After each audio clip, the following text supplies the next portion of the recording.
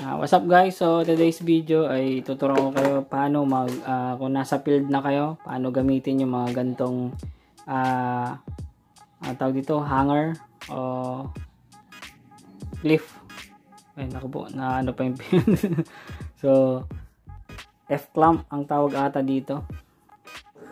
Yan, so siyempre pag nasa field na kayo, hindi naman pwedeng ibaluktot agad to guys, 'di ba? So para maibitin nyo to itong mga kable natin. So hindi yan pinaisama yung fiber. So kailangan i-walay natin yung messenger yung kanyang alambre. So gagamit talaga kayo ng cutter. Kailangan may cutter kayo na matalim. Tapos itong ito yung alambre nya wag to guys ha. Itong alambre ito itong bilog. Makikita kayong pabilog yun yun. Pero wag yung kudra yung parang may aging na square hindi yun so dito baba, uh, bubutasan natin pag ganun lang so ingat lang kayo pagka tumagos na yan sa kabila okay pag ganun yung slide nyo lang tapos lain na natin tandaan guys dapat hindi ito nabiben kasi pag nabend ito nabaluktot nyo mababa, mababali yung uh, fiber natin, yung cable natin. Ito pagka nasa outdoor na kayo guys. Yan. Oh, naputol na natin dito. So, okay, imagine nyo na hindi na naalis. So, ganyan. So, dito, ganun nyo lang. Eh, itong alambre na to guys.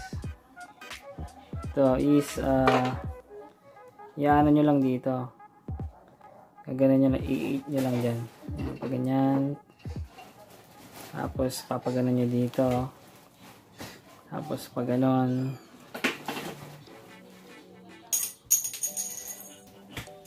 Pasok nyo parang 8.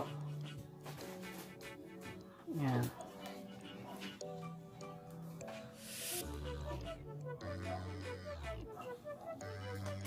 Guys, so na yan, nakakabit pa rin yan dyan guys.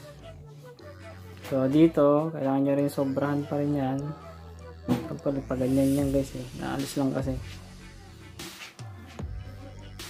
So, kayo nang bahala guys kung ito is iikot nyo pa dito. Yan. So, ganyan.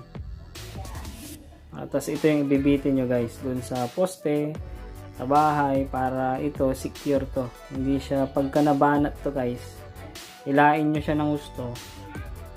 Itong gitna ang pipersa, yung alambre hindi pipersa yung ating fiber optic okay yung alambre kaya lahat ng mga fiber optic may alambre yan guys yan yung reason kaya may alambre yung ating mga fiber hindi kagaya ng uh, ah, UTP ang pinaka support niya lang is yung yung balat niya yung tapos yung nasa gitna na uh, ano niya spacer yung clear Then, meron din siyang kunting balahibo, yung puti.